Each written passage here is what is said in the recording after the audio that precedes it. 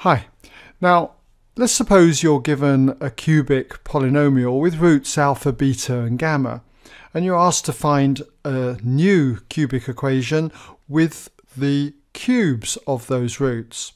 And one of the identities that you're going to need to use will be alpha cubed plus beta cubed plus gamma cubed.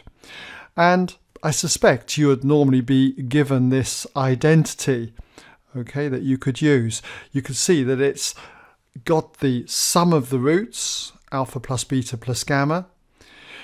It's got here the sum of the product pairs of roots and the product of roots. So you should be able to make your normal substitutions in for those. But what I want to do here is just show you how we get this identity, just in case, for instance, you're not uh, given it, okay, and you have to prove it. And it's quite involved, and I've color coded it to help make it a lot easier to work with. So how do we do this? Well, first of all, you start with alpha plus beta plus gamma and we cube all of this. So what I'll do is write this down as the three brackets, okay? And then what we'll do is we'll just copy in that first bracket okay, alpha plus beta plus gamma, and start to expand these last two brackets. So we'll do alpha first of all times each of those three terms, and you will get alpha squared plus alpha beta plus alpha gamma. Then we'll go on and just do beta times each of those three terms, and that's going to give you alpha beta plus beta squared plus beta gamma. And finally, gamma times each of those three terms. Okay, and there we go. Next, what I want to do is simplify this last bracket here. Okay, so we just need to group up our terms.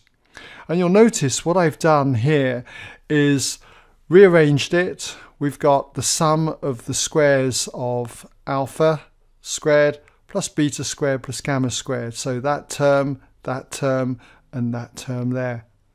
And then you'll notice that I can group up in pairs the terms alpha beta. We've got alpha beta here and we've got another alpha beta here. So we've got two of them. And similarly, you'll see there's two lots of alpha gamma and two lots of beta gamma. So I can pull out two as a common factor across there. Now what I want to do next is just expand the brackets, okay? So what I'm going to do is multiply alpha with just these th first three terms, first of all, okay? So if we do that, you're going to get alpha cubed, and then you're going to get alpha beta squared, and then alpha gamma squared, okay?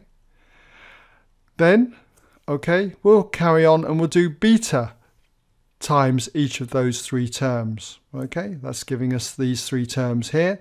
And similarly, we're going to do gamma times each of those three terms, and that gives us this result.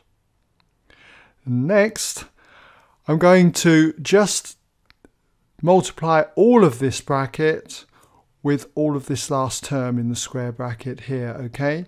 So that's going to give me this result here two lots of all of alpha plus beta plus gamma multiplied by all of alpha beta plus alpha gamma plus beta gamma. Okay, there. Right. Now what I want to do is simplify this expression here. What I'll do is just write down the first three terms alpha cubed, beta cubed, gamma cubed, which you'll see up here. Alpha cubed, beta cubed, and gamma cubed. And then I'm going to write this term here down. Okay, so we'll just rearrange the order at the moment, okay, of the terms. And now this is leaving me with a few other terms up here, okay? And what I'm going to do is pull out alpha across two terms, these two up here. If I pull alpha out as a common factor, you can see that I'm going to be left with alpha beta to give me this term here, and alpha gamma to give me alpha squared gamma when I expand the bracket. Okay, and you'll notice I've left a space here and you'll see why in a moment. Similarly, I can pull out beta across two terms, the two terms I've highlighted in red here. And in the bracket, I'm going to get alpha beta for this term and beta gamma, which would give me this term here. And finally, I'm going to pull out gamma, okay, across these two terms. And I'm left with alpha gamma plus beta gamma. So as I say, I've left these spaces here, all right, and you'll see why. So this is basically, okay, the result above. But what I'm going to do now is a little trick. We're going to add in this value here. This space here would be beta gamma. So I'm going to put beta gamma in. I've added that in and when I multiply this out, it obviously creates plus alpha beta gamma. But that term wasn't in here, so I've now taken it back out again. And what I'm going to do in this space, if you haven't guessed already, is put in alpha gamma. Okay, I put in alpha gamma, but I've got to take out alpha beta gamma. Okay, because this term was not up here. And similarly, I'm going to put here alpha beta, and then I'm going to subtract alpha beta gamma. Okay? So, what this does is that it helps me to be able to simplify these three terms here because I can factorize that. They've got a common factor of alpha beta plus alpha gamma plus beta gamma. Okay, so what I'm going to do now then is factorize and group together my terms. So you'll see I've got the top line here covered up to here. I've then pulled out a common factor, alpha beta plus alpha gamma plus beta gamma, okay, across each of these three terms, and then put in alpha, beta, and gamma as the last three terms in this bracket. And also, I've got to group together these three terms, which is going to be minus three lots of alpha, beta, gamma. And finally, I can group together two of these plus another one of these, okay, giving me three lots, okay. So what we've got is alpha cubed plus beta cubed plus gamma cubed. Now we've got three lots of these terms, okay? Three lots of that there, okay? Minus the three alpha, beta, gamma.